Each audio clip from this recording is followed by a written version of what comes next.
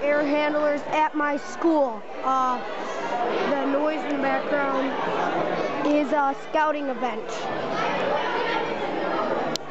Uh, they're tied into a central boiler. And, uh, the central boiler's hot pipes come in and they blow on it. And the, there's a McQuay chiller and they blow on the cold pipes also. And I'll make a video of the McQuay chiller. Uh,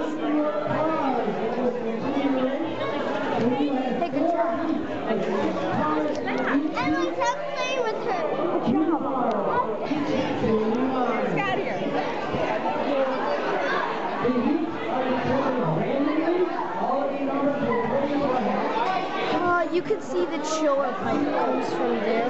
Goes up to the other rooms.